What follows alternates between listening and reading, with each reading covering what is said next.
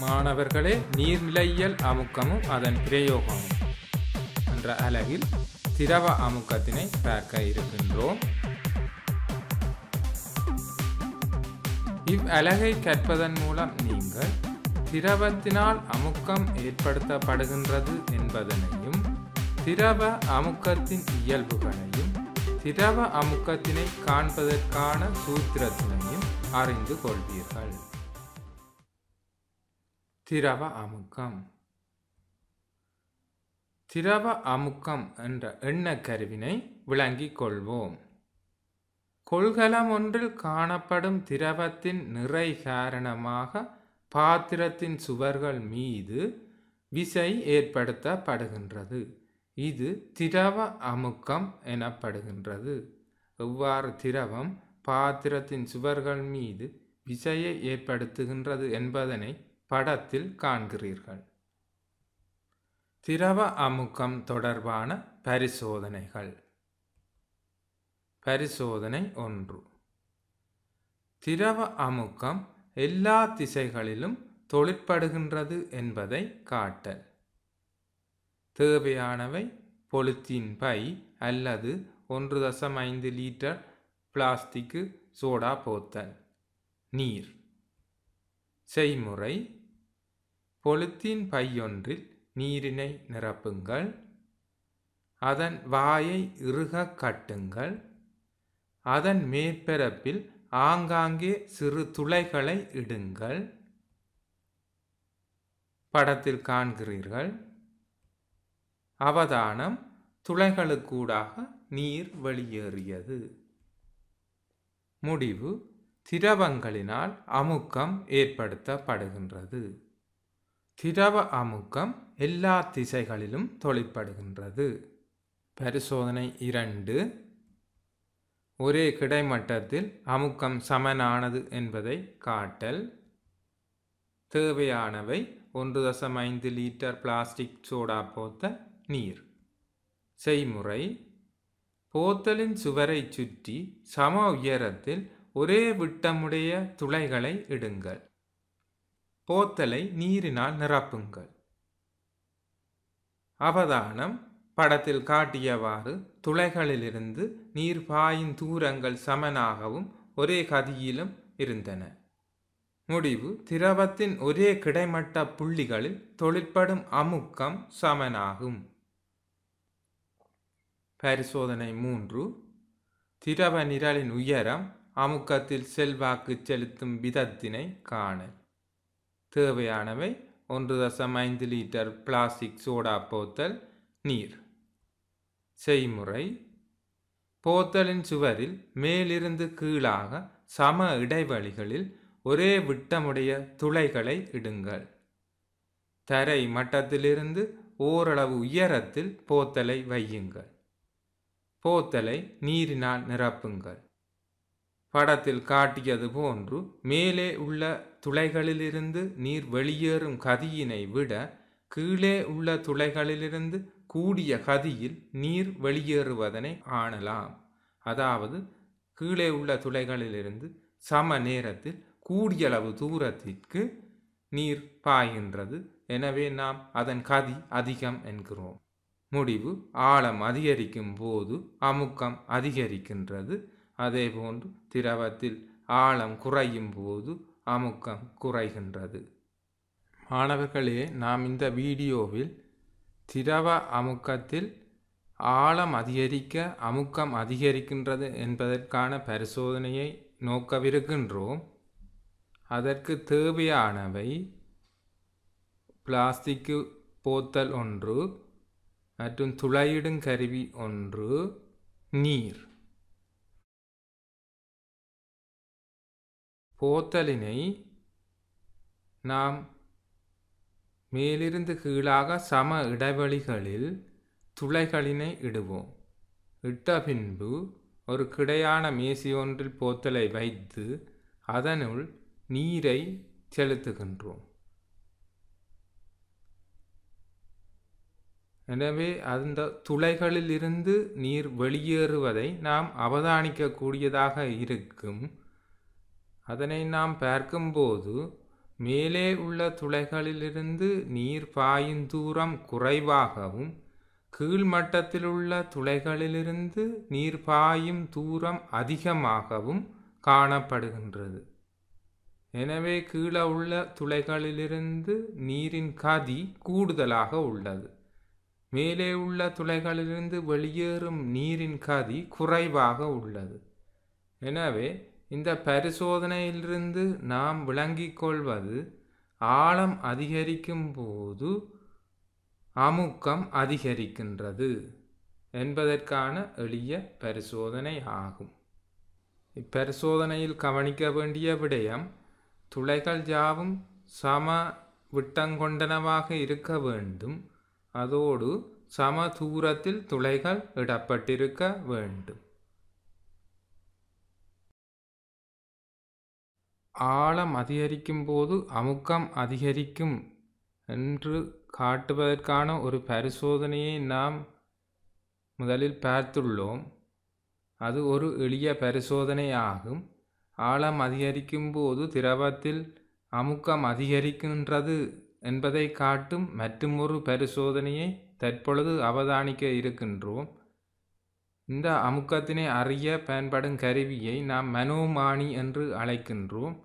அதனை தயாரிக்கும் முறையையும் அதனை வைத்து எவ்வாறு அமுக்கத்தை அளவிடுகின்றோம் என்பதையும் இனிவரும் வீடியோவில் நீங்கள் பார்க்க இருக்கின்றீர்கள். அதற்கு முள்ளிப்புணல் ரப்பர் சவ்வு போன்றவை பயன்படுகின்றது. முள்ளிப்புணலின் வாயினால் ரப்பர் சவ்வு மூடி கட்டப்படுகின்றது. அது ஒரு ரப்பர் குழாயின் உதவியால் ஜூ குழாயுடன் பொருத்தப்படுகின்றது. ஜூ குழாயில் அளவிடப்பட்டுள்ளது.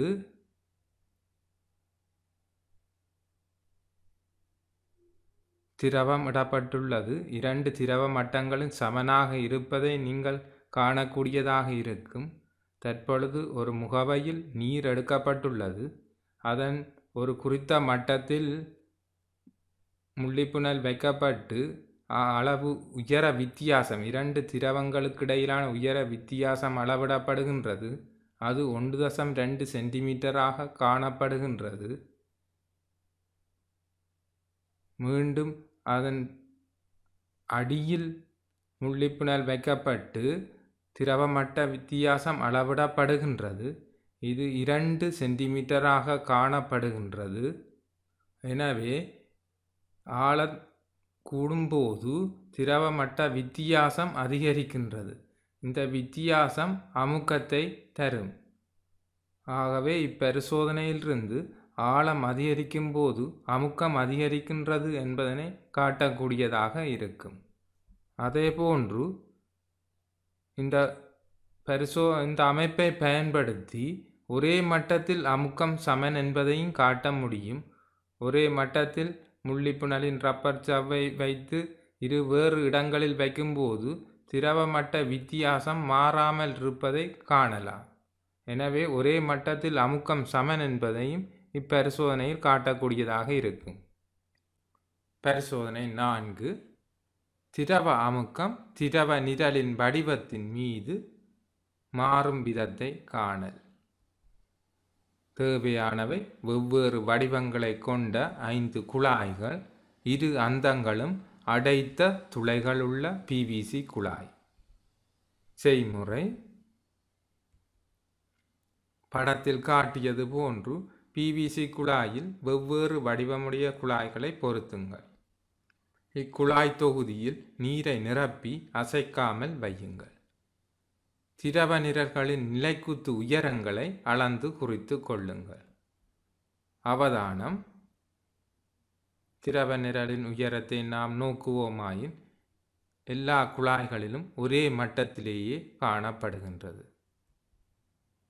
முடிவு. திரவ அமுக்கம் திரவ நிரலின் வடிவத்தில் தங்கியிருப்பதில்லை திரவ நிரலின் உயரத்திலேயே தங்கி உள்ளது திரவ அமுக்கத்தின் இயல்புகள். திரவத்தில் ஒரு குறித்த இடத்தில் உள்ள அமுக்கம் அதற்கு மேலே உள்ள திரவ நிரலின் உயரத்தில் தங்கி உள்ளது திரவ நிரலின் உயரம் அதிகரிக்கும் போது அமுக்கம் அதிகரிக்கும். அதேபோன்று திரவ நிரலின் உயரம் குறையும் போது அமுக்கம் குறையும். திரவத்தின் ஒரே கிடைமட்டத்தில் அமுக்கம் சமமாகும். திரவத்தில் ஒரு குறித்த இடத்தில் எந்த திசையிலும் அமுக்கம் ஒரே பெருமானத்தை கொண்டிருக்கும். திரவ அமுக்கம் திரவ நிரலின் வடிவத்தில் தங்கியிராத அதே வேளை திரவ நிரலின் நிலைக்குத்து உயரத்தில் மாத்திரம் தங்கியுள்ளது. திரவ அமுக்கம் தொடர்பான சில கணிப்புகள். திரவ நிரலின் உயரம் ஏச்சும் திரவத்தின் அடர்த்தி ரோவும் எனில் இந்நிறை ஓரலகு பரப்பின் மீது தொழிற்படுவதால் திரவத்தின் அடியில் அமுக்கம் ஏச் ரோ ஜி ஆகும். அதாவது திரவ நிரலின் நிறை காரணமாகவே அடியில் அமுக்கம் ஏற்படுத்தப்படுகின்றது. எனவே நாம் திரவத்தின் திணிவை காண்போமாயின் திணிவு சமன் கன அளவு தர அடர்த்தி. எனவே நாம் கன அளவை இங்கு காண வேண்டும். கன அளவு சமன் குறுக்கு வட்டு பரப்பு தர உயரம். ஆகவே திரவத்தின் திணிவு குறுக்கு வட்டு பரப்பு தர உயரம் தர அடர்த்தி. இங்கு குறுக்குவட்டு பரப்பு ஏ என்ற எழுத்தினால் தரப்பட்டுள்ளது. ஏ தர உயரம் ஏச் தர அடர்த்தி ரோ. ஆகவே திரவத்தின் திணிவு ஏ எச் ரோ. எனவே திரவத்தின் நிறை நாம் புவியீர்ப்பு ஆர்முடுகளினால் பெருக்குகின்றோம். ஏ எச் ரோ ஜி அமுக்கம் சமன் விசையின் கீழ் பரப்பு ஆகவே இங்கு நிறை விசையாக தொழிற்படுகின்றது. ஏ எச் ரோ ஜி கீழ் அதன் பரப்பு ஏ. எனவே ஏயும் ஏயும் இல்லாமல் போக திரவ அமுக்கம் எச் ரோஜி என வருகின்றது. திரவ அமுக்கத்தை காண்பதற்கான சூத்திரமாக எச் ரோஜி என்பது அமைகின்றது. இதன் அழகாக எச் உயரமானது மீட்டர்னாலும் அடர்த்தியானது கிலோகிராம் மீட்டர் மைனஸ் த்ரீயினாலும் ஆர்முடுகலானது மீட்டர் செகண்ட் மைனஸ் டூவினாலும் குறிக்கப்படுகின்றது. எனவே இதனை kilogram metre second minus two தர மீட்டர் மைனஸ் டூ என குறிக்கலாம். எனவே இது நியூட்டன் மீட்டர் மைனஸ் டூ என்ற அலகினை தருகின்றது. இதுவே அமுக்கத்தின் அலகு ஆகும். இங்கு kilogram metre second minus two ஆனது நியூட்டனால் குறிக்கப்படுகின்றது. ஒரு கிலோகிராம் பொருள் மீது ஒரு மீட்டர் செகண்ட் மைனஸ் டூ ஆர்முடுகளை ஏற்படுத்தவல்ல விசையே நியூட்டன் ஆகும். இது பெஸ்காலினாலும் குறிக்கப்படுகின்றது. ஒரு நியூட்டன் மீட்டர் மைனஸ் டூ சமன் ஒரு பெஸ்கேல். எனவே நாம் திரவ அமுக்கத்தை காண்பதற்கான ஒரு சூத்திரத்தினை பெற்றுள்ளோம். இது தொடர்பான கணிப்புகள் வரும்போது இந்த சூத்திரத்தை நாம் நேரடியாக பயன்படுத்தக்கூடியதாக இருக்கும். திரவ அமுக்கம் தொடர்பான கணிப்புகள் சிலவற்றினை நோக்குவோம். குளத்தின் ஓரிடத்தில் ஆழம் இரண்டு மீட்டர் ஆகும். திரவத்தின் அடர்த்தி ஆயிரம் கிலோகிராம் மீட்டர் மைனஸ் த்ரீ எனில் குளத்தின் அடியிலுள்ள புள்ளி மீது நீரினால் பிரயோகிக்கப்படும் அமுக்கத்தினை காண்க. இங்கு புவியீர்ப்பு ஆர்முடுகள் பத்து மீட்டர் செகண்ட் மைனஸ் டூ என தரப்பட்டுள்ளது. எனவே நாம் திரவ அமுக்கம் காண்பதற்கான சூத்திரம் நமக்கு தெரியும். எச் ரோஜி உயரம் இரண்டு தர ரோ ஆயிரம் தர ஜி பத்து. எனவே இருபதனாயிரம் பஸ்கால் என விடை வருகின்றது. ஆகவே குளத்தின் அடியில் பிரயோகிக்கப்படும் அமுக்கம் இருபதனாயிரம் பெஸ்காலாக அமைகின்றது. இரண்டாவது கணிப்பு எழுபத்தாறு சென்டிமீட்டர் உயரமுடைய ரச நிரலினால் அதன் அடியில் ஏற்படுத்தப்படும் அமுக்கத்தினை காண்க.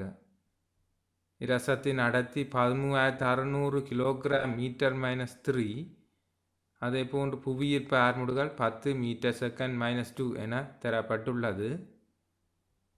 திரவ அமுக்கம் காண்பதற்கான சூத்திரம் எச் ரோஜி எனவே இங்கு ரச நிரலின் உயரம் எழுபத்தாறு சென்டிமீட்டர் என தரப்பட்டுள்ளது. அதனை நாம் நியம அலகுக்கு மாற்ற வேண்டும். எழுபத்தாறின் கீழ் நூறு தர ரோ பதிமூவாயிரத்து அறுநூறு தர ஜி பத்து. நூற்றி மூவாயிரத்து முன்னூற்றி அறுபது பெஸ்கால் என விடை வருகின்றது. பொழிப்பு. திரவத்தினால் அது தொடுகையுறும் பகுதிகளில் பிரயோகிக்கப்படும் அமுக்கம் திரவ அமுக்கம் எனப்படும். திரவ அமுக்கத்தினை கணிப்பதற்கான சூத்திரம் ஹெச் ரோஜி ஆகும் திரவ அமுக்கம் எல்லா திசைகளிலும் தொழிற்படும். திரவத்தில் ஆழம் அதிகரிக்கும் போது அமுக்கம் அதிகரிக்கும். திரவத்தில் ஒரே கிடைமட்டத்தில் அமுக்கம் சமனாகும். திரவ அமுக்கம் திரவ நிரலின் வடிவத்தில் தங்கியிராத அதே வேளை திரவனிரலில் இலைக்குத்து உயரத்தில் மாத்திரம் தங்கி உள்ளது